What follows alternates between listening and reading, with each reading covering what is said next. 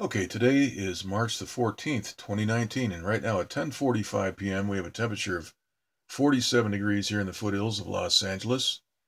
The relative humidity has risen to 31%. We were down at 15% right around 7 p.m. Uh, the dew point is way down at 18 degrees, and the barometer is sitting at 30 inches. It's been that way all day, 30 inches all day long. All right, so first thing we notice here is we've got a, a uh, storm system moving to the uh, east northeast, and uh, this has a right angle imprint uh, being caused by a satellite transmitter.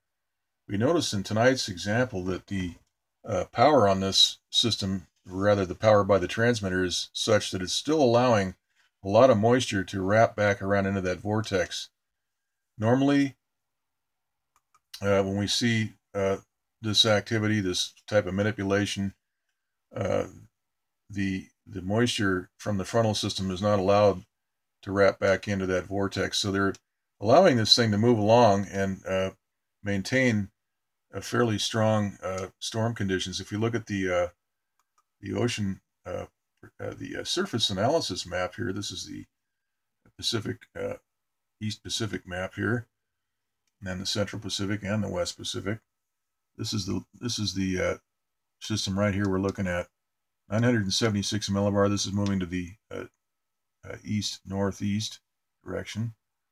This is a storm. Now somebody was asking here the other day on the one of the uh, one of the posts on the video here going back a couple of couple of videos.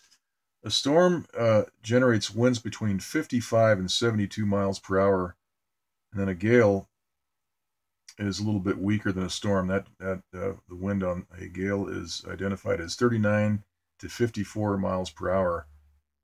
Everything over uh, a storm force uh, winds, which is over 72 miles per hour, we've got a hurricane force winds.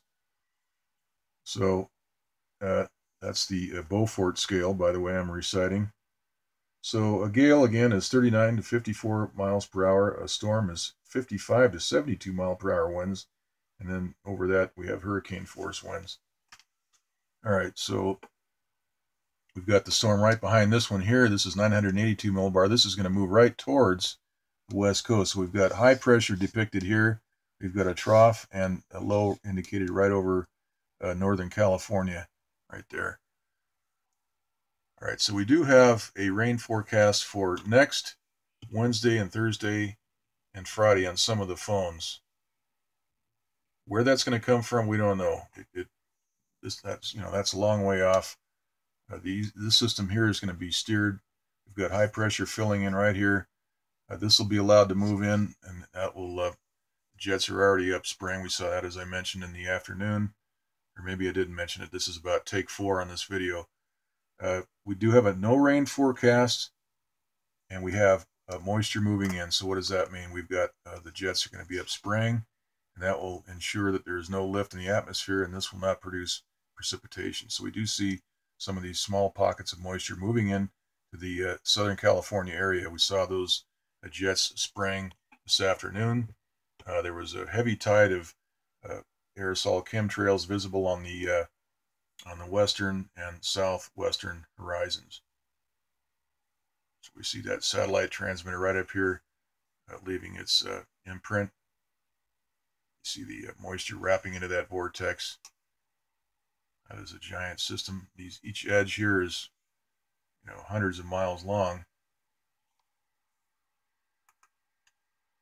We've got a developing system right down here as well, right, right there.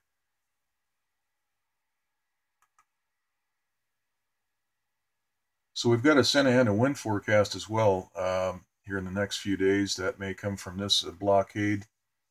We'll have to keep an eye on things. Meantime, let's take a look at the jet stream map. We have a tropical flow pattern, which is following that uh, storm system up over the Great Lakes and into Canada. This is the system that uh, spooled up. I was uh, showing that 982 millibar.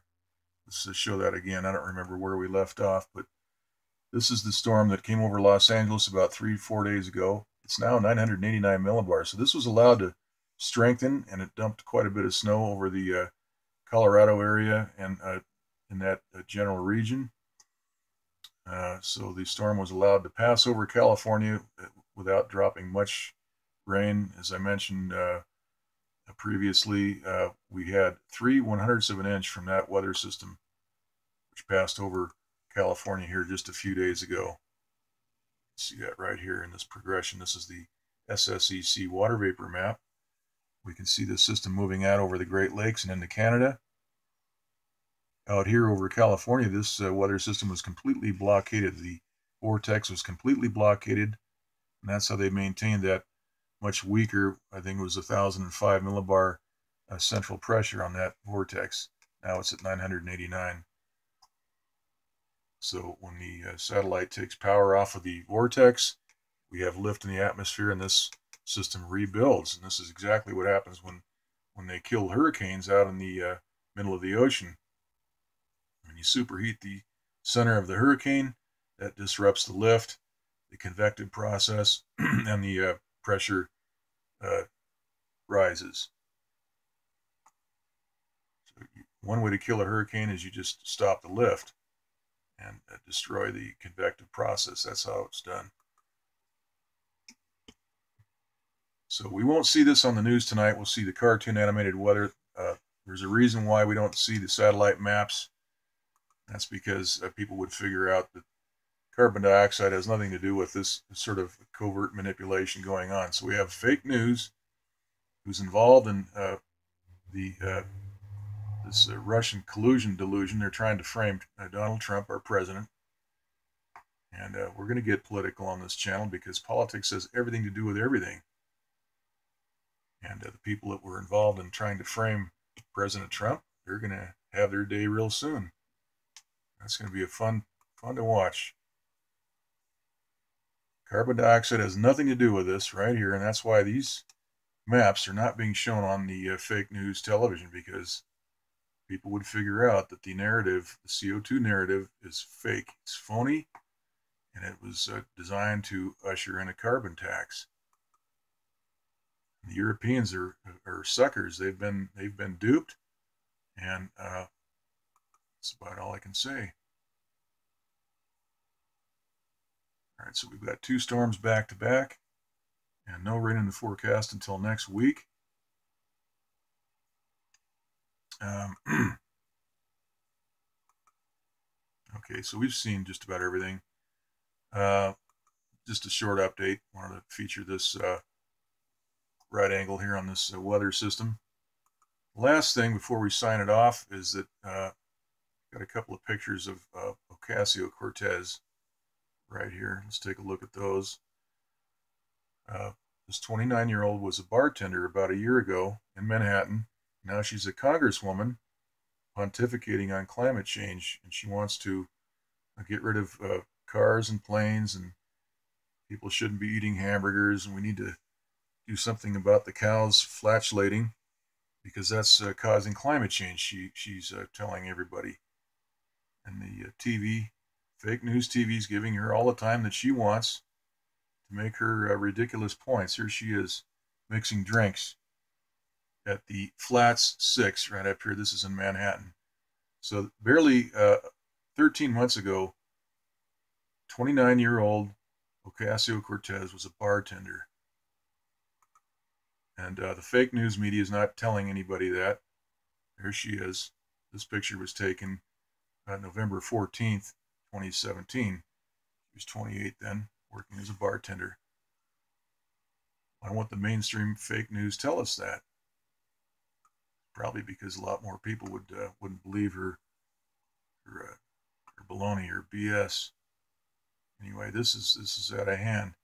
We've got children running the show, and they're getting too much attention. All right. So we'll just leave it here uh, and get another update real soon. Okay, that's it.